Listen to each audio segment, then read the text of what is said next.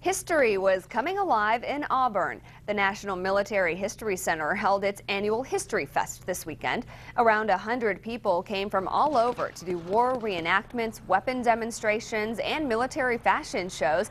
And it's not just people in the community who enjoyed the event. It's a free community event, but a lot of the times it's um, the reenactors that come in and they like to look at the displays because there's dioramas and all sorts of stuff in here, and they get in they get a big kick out of it. Organizers say the History Fest is a good way to help preserve history and showcase what the National Military History Center has to offer.